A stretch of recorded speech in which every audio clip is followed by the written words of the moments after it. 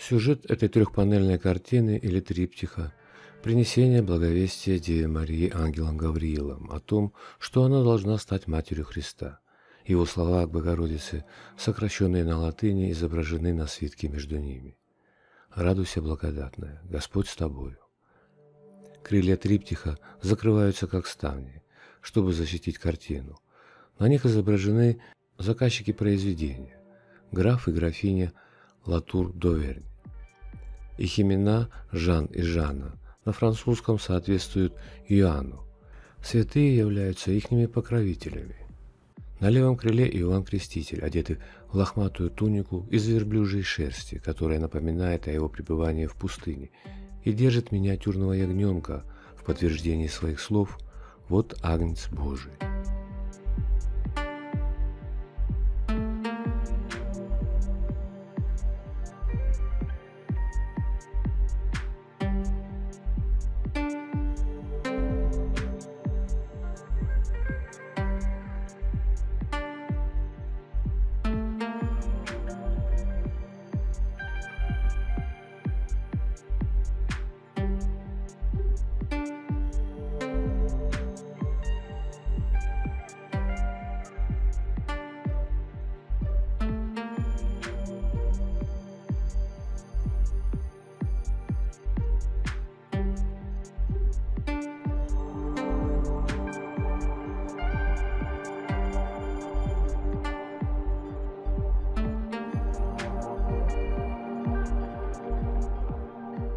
Правом крыле Иоанн Евангелист, которого можно узнать по его чаше с находящимся драконом внутри.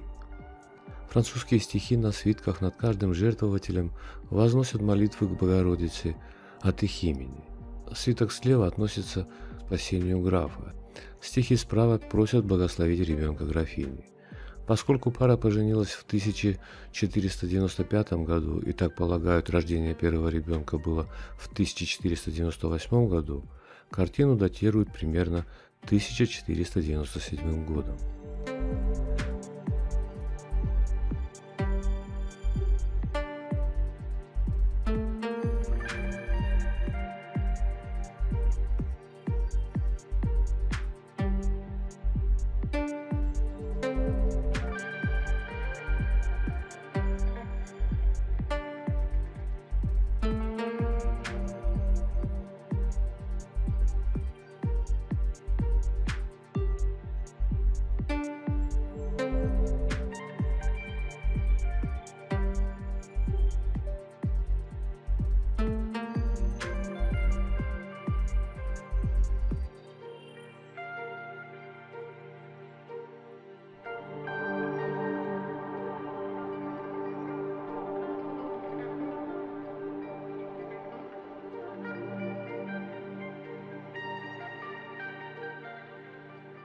Это картина начала эпохи Возрождения во Франции, расположение фигур на фоне ландшафта, которое простирается на всех трех панелях, выражает интерес эпохи Возрождения к изображению библейских фигур в естественной обстановке.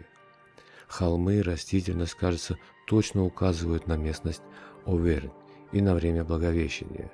Отличительными чертами стиля Возрождения является уход в пространство ландшафта и архитектуры, а также тени, тщательно нарисованные на стене, за голубем, символом Святого Духа, и свитком ангела.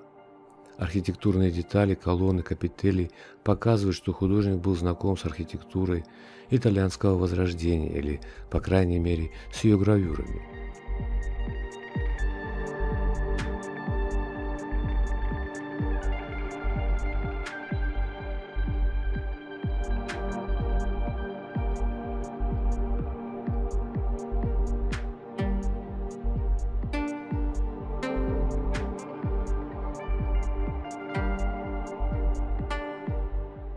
Замечательная попытка реализма как в фигурах, так и в пейзаже.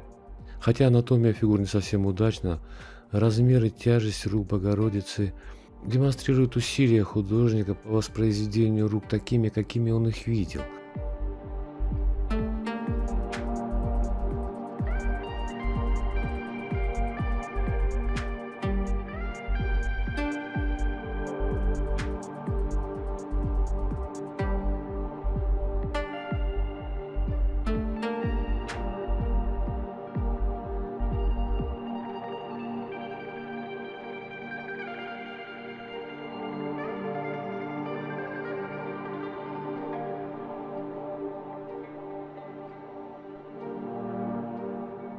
Желание, высказанное на свитке о ребенке, исполнилось. Их дочь вышла замуж за члена прославленной семьи Медичи из Флоренции.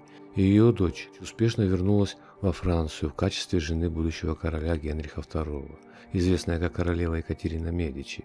Она играла доминирующую роль во французской политике и культуре своего времени.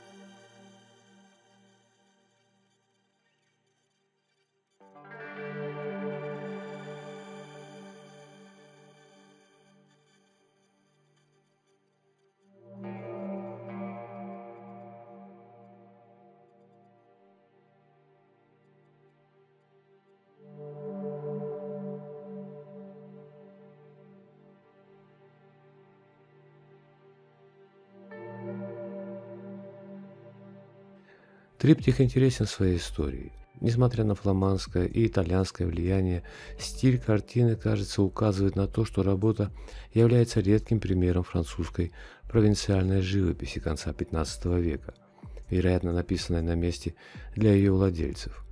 Надпись XVIII века, нарисованная золотом на обратной стороне ставень, и еще одна написанная на бумаге и прикрепленная к задней части центральной панели – дает достаточно полную историю его владельцев. После смерти графа графиня хранила картину в своем замке в Викле-Конте.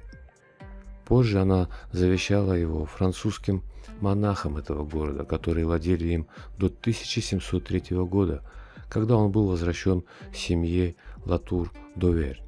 В последующее время местонахождение картины было неизвестно, за исключением продажи в 1870-х годах. В 1957 году фонд Сэмуэля Кресса приобрел эту работу и впоследствии передал ее музею.